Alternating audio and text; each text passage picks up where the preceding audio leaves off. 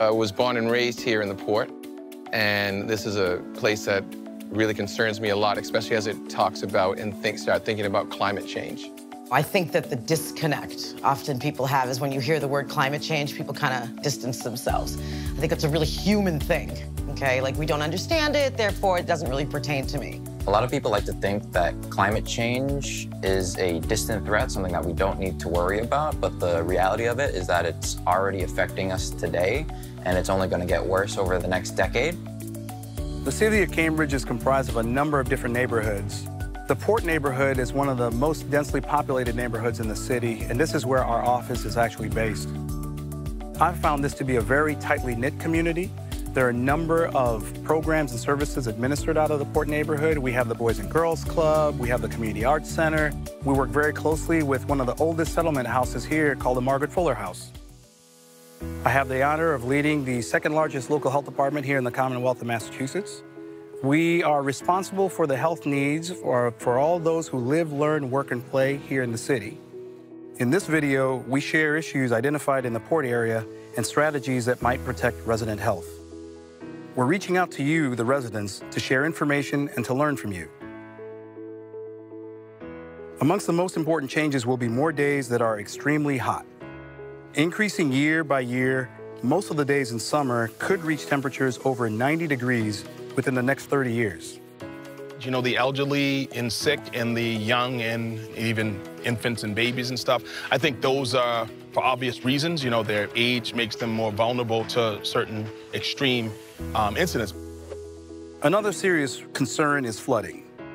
Increases in rain and snow, as well as a rise in sea levels, are resulting in more flooding. Storms are getting more frequent and stronger. Some areas of the city will flood more. Some areas of the port have flooded in the past.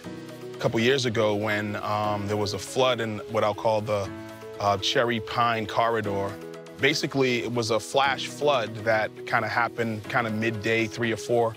And in this instance, uh, many of the basements were flooded, you know, two to three feet of water.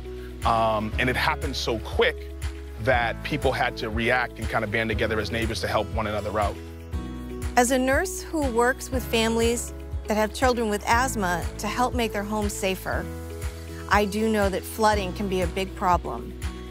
Flooding brings moisture problems, and that can cause mold and mildew and even destroy housing components that can lead to pest infestations such as roaches, mice, and rats.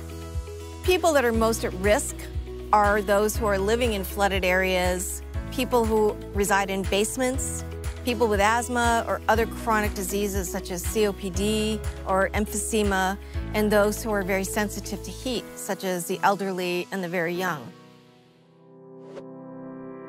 We want to be having a conversation about preparedness and what you can do to make yourself, your family, your neighborhood, your community more resilient. Climate change is real. The impacts of climate change are real. So we're asking residents to do their part to prepare, but all, we're also doing our part. Our emergency preparedness unit, as well as our environmental health unit, they work very closely with partners to look at the impacts of climate change.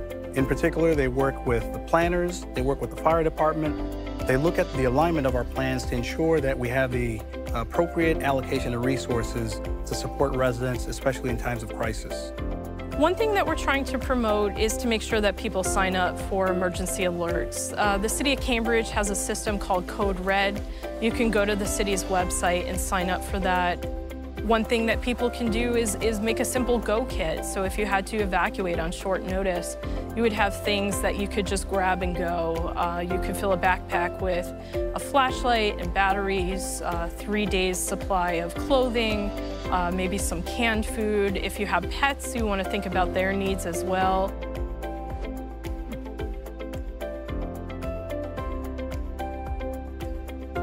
The best way to prepare for any kind of trauma or event is to know your neighbor. If your uh, neighbor who's fortunate enough to have central air and your neighbor who may be elderly or maybe um, a little more fragile could spend some time in your house during the hotter times, that might be one way. Just neighbor to neighbor stuff. To me, that's what the most important thing is. If we do that, then everything's golden because we're accountable to one another. I know we have a close relationship with the Community Arts Center, so if something happens and they need to use our space or we need to use their gym, that's an opportunity that we have. And I think that's one of the things that is great about what's going on in Cambridge, that there is a collaborative effort to share resources and identify needs. We can do this if we want to. We have to think with some intentionality. We have to commit to each other and accept the fact that when crisis happens, we're strong enough to get through it. And once we can do those things, I think we'll be in a better place. We already have a community that works together. We have the creativity, the technology. Now's the perfect time to bring those three things together and make a big change. We all want to hear what you think. This is your community. This is your neighborhood. Get out there, have a discussion, see what everybody thinks. Bring it to us. Let's get some ideas rolling and let's figure out what we can do. I truly believe that it takes a village to raise a healthy community. The reason we put this video together is to share with you our thoughts, but also to hear from you directly.